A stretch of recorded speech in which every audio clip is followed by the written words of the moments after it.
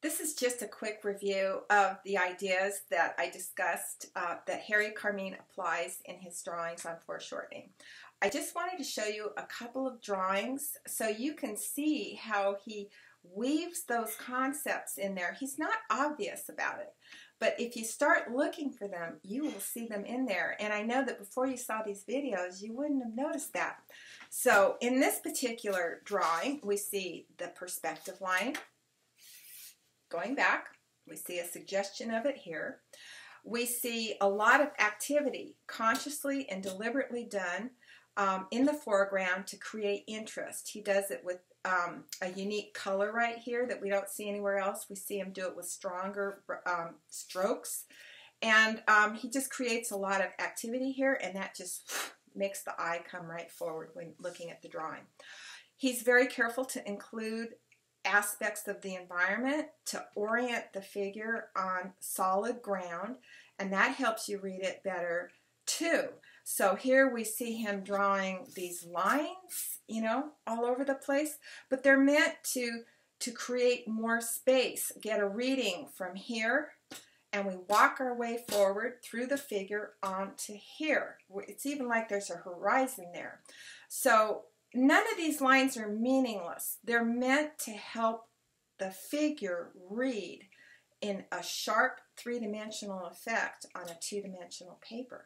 He even adds this shape, which helps create um, a 3D reading from this form to this form to this form to this form to this form to this form. He creates forms here and by creating that rhythm of forms, he gets the eye to travel and it suggests three dimensionality to you, the viewer.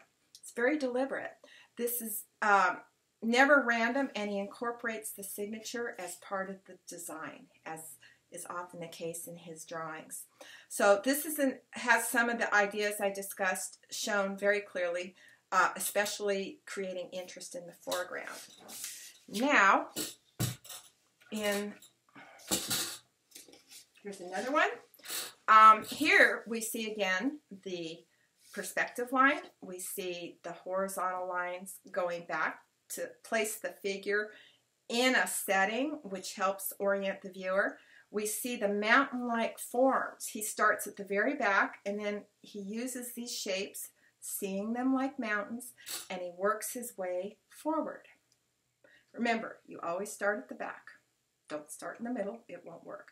Also, he uses tone to separate and define each form from the one that's behind it or in front of it. So tone, um, you don't have to use it, but he uses it to great effect here. So that's why I'm pointing it out. We see a real contrast between the light and the dark uh, uh, tones of the forms. It's very deliberate and it just, one more thing to help the eye read very clearly a three-dimensional concept on a two-dimensional piece of paper. So um, I just wanted to show you, you these two drawings because now that you know what to look for, you can see how he does that. He doesn't do it in an obvious manner. It's subtle. And that's the trick of a master, to be, um, to create your illusions but without being obvious about it. You just do all the work so when your viewer looks at the drawing, it's all laid out for them and they just get it like that. So these are just a couple of, of examples of some beautiful extreme foreshortening by Harry Carmean.